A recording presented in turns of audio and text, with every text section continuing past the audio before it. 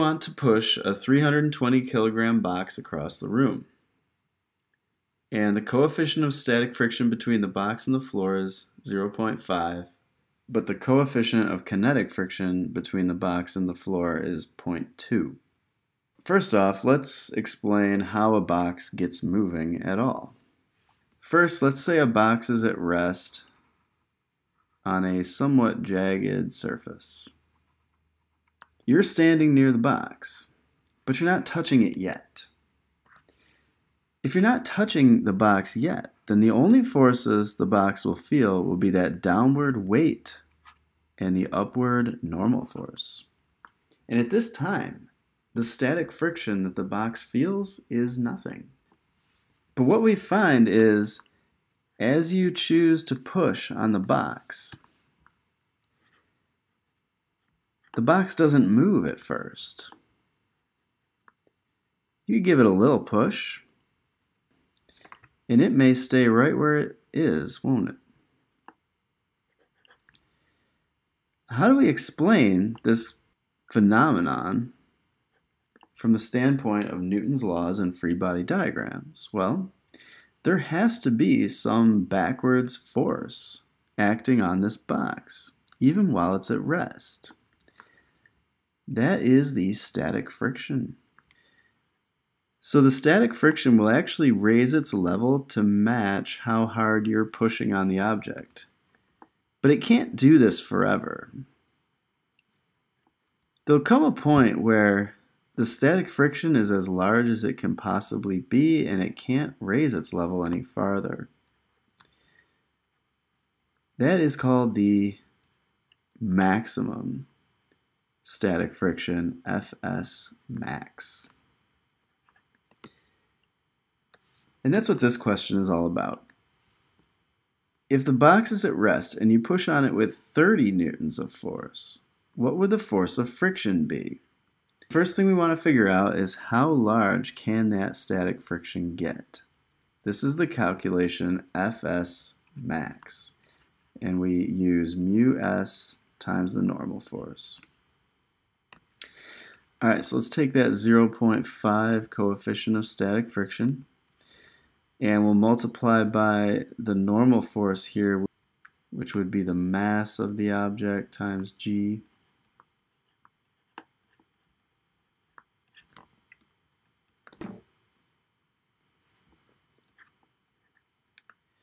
All right, it looks like the max static friction is 1570 newtons. That's pretty big. So if we actually push on the block with 30 newtons, how big will the static friction be? Well, the answer to that is 30 newtons. Static friction can easily match that push. It can go as high as 1570 newtons. And this shows the difference between the static friction and the maximum static friction. The formula for static friction is that the static friction will always be less than or equal to mu s Fn. So it could be as low as zero, or it could be as high as 1570, or anything in between depending on how the box is being pushed. At the current time, though, with a person pushing with 30 newtons, the static friction will also be 30 newtons.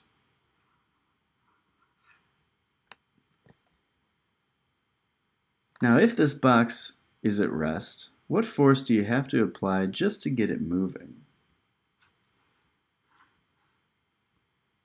Alright, so if we push as hard as 1570 newtons, then that's the breaking point. That is as high as the static friction can possibly go. And so that would be the answer to this question.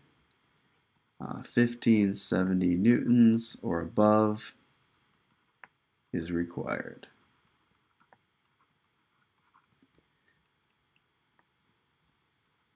to move the box. Now, of course, you have to go just uh, above it for a transient time uh, to get the thing into motion. Otherwise, the forces would just be balanced. But an interesting thing happens once the uh, box does start to move. When the box starts to move, the type of friction changes from static friction to a friction of motion, kinetic friction. But the kinetic friction is never as large as the static friction. So whereas the static friction could be 1570 newtons, the kinetic friction won't be that high.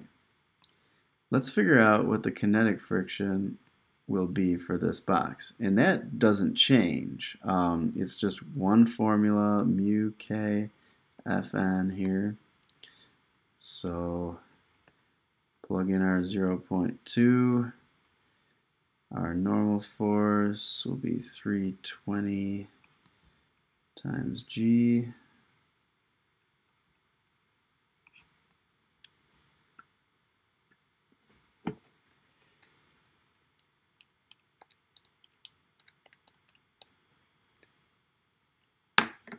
Six hundred and thirty newtons.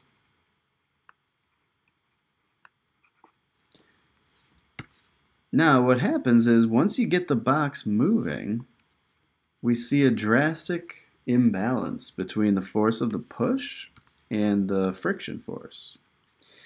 And so this box is going to rapidly enter into an acceleration phase. And the acceleration could be quite large. Um, let's find out what that acceleration would be. It's going to be the net force divided by the mass. So we'll do 1570 minus 630 divided by 320 kilograms.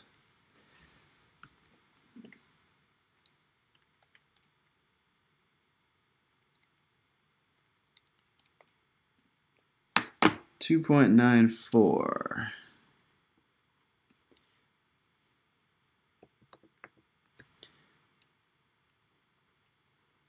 Meters per second squared.